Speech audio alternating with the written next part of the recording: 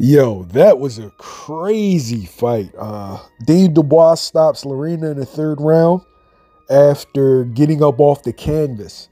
Uh, Lerena landed a good shot on Dubois. I think it was a left hook, put him down.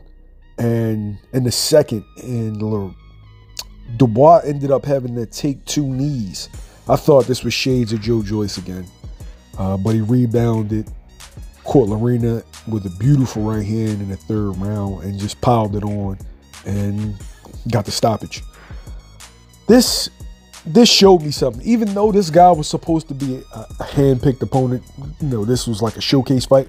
It showed me that Dubois can respond through adversity because that was a question mark after the Joe Joyce fight. And no, this is not Joe Joyce, but this showed me that he can dig and dig deep. He was hurt.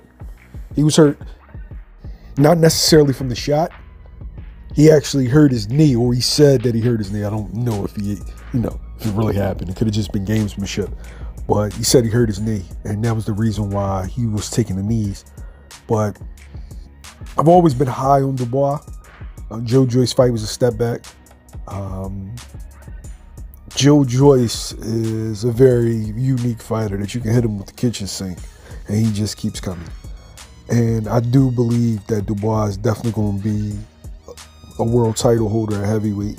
It just remains to be seen if he's going to be an elite or he's just going to be another guy with the belt. Like, uh, the jury's still out on him, but he definitely showed me something tonight. And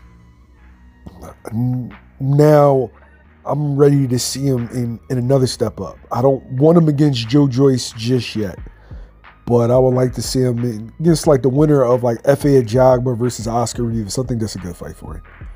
Uh, but you let me know in the comments below who do you want to see him in the ring with next.